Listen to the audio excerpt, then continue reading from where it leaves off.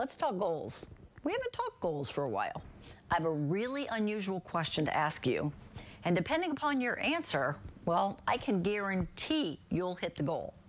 Now, remember, we talk about those six areas, right? Health, time, love, money, work, God.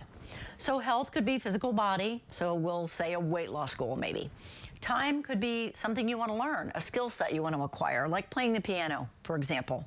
Love, time with your family, uh, making your marriage fantastic, right? Money is money. So, we'll say a budget.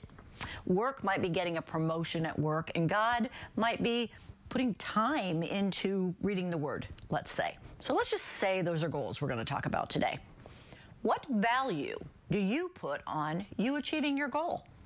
Value, like dollar value or time invested value. Do you give yourself value with relative relativity to you achieving your goal? Because depending upon your answer, I can tell you if you're going to achieve the goal or not. Now, there's no work need to be done here. I just want you to think about something regarding the word value. Let's just say that with money, you'd like to purchase a new home. And let's just say that new home is valued at $50,000. Here's my question. Would you be willing to invest the $50,000 for the new home if once you got into the home and you were living in it, somebody handed you the 50,000 back? Not a difficult question, hopefully. Well, let's talk about maybe a new car. Maybe the money that you are wanting to acquire is to invest in a new in a new car. So let's just say that new car is $10,000. Would you be willing to invest the value of the $10,000 in the value of you achieving the goal, getting the new car, if once you began to drive the car around and learn how the car functions, you'd get the 10,000 back, literally handed back to you? Probably a pretty easy answer. How about a $1,000 system, a system that helps you learn how to play the piano or learns how to learn how to lose the weight or learn how to have the great marriage?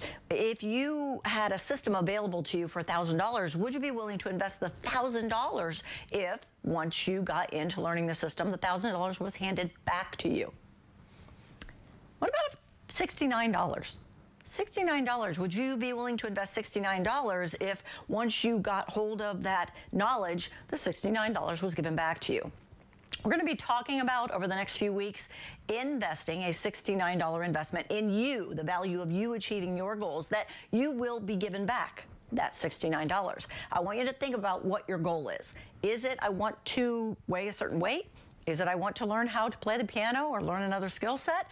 Is it make my marriage great? Is it time with God? Is it money? Is it work? You need to know what your goal is because next week we're going to talk about how to specifically achieve that goal with you and your value.